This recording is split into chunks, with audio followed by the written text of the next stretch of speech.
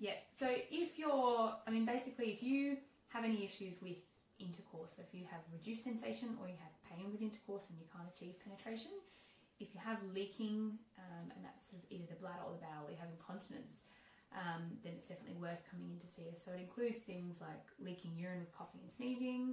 um, not feeling when you're leaking and just noticing at the end of the day that you are damp or you've got a smell of urine in your knickers. Um, if you have reduced bowel control and you've got fecals or even just lack of wind control.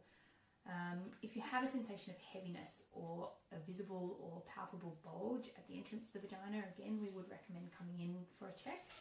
Um, and if you do have difficulties emptying your bladder and bowel, so it may not be that you're leaking, but it may be that you don't feel like you can empty your bladder or you can't empty your bowel. If you do have chronic constipation and you need to strain to empty either your bladder or bowel, um, and generally, if you've had a pregnancy, we would always, always suggest coming in and check your pelvic floor and guide you through exercises from